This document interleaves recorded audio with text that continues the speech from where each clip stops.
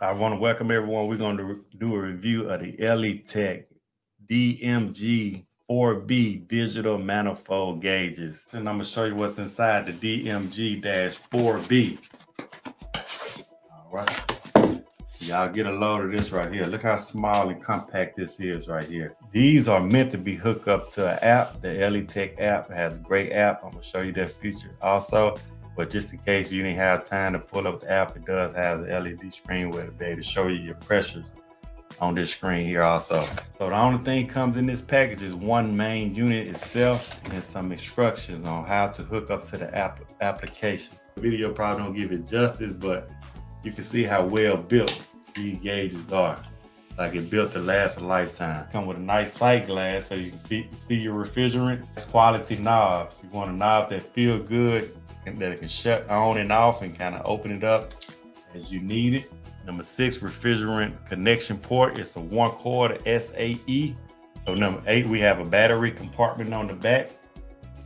Comes with two AAA batteries. Accuracy plus or minus 1 FS. Battery life 200 hours. So I'm gonna show you how to connect the Elitech DMG 4B to your Elitech app. First, you'll go to Elitech tools in your app store, whether that's Android or iPhone. Once you have the app on your device, turn your manifold gauges on. Right now, by this battery power up here is nothing. So I'm gonna press it again and you'll see a Bluetooth symbol start blinking. Once it says search for nearby device, I'm gonna toggle that on. See how fast they come up. So my DMG 4B 4B is available. I'm gonna press that button right there. It's, it's talking to it and connecting. The beautiful display in this top right corner is set for R11. I'm gonna change that refrigerant and we're gonna go outside to my unit, which is which my unit has 410A. This is actually 410A here, so I'm gonna check that one and save it. So now we got the right refrigerant, 410A.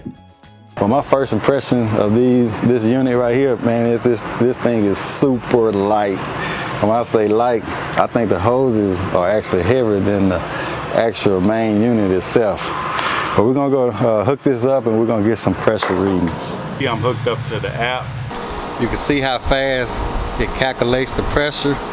So you're gonna have to use the old school analog way to calculate your subcooling and superheat, which is fine. This is a compact unit, but it doesn't have a, a port where you can hook up some temperature probes on here. So you'll just have to do your calculation on your own. A thermal uh, temperature clamp and hook it up to your high side and your low side and you just do your calculation like that. So for instance, so to calculate the superheated subcooling, you see the pencil right here.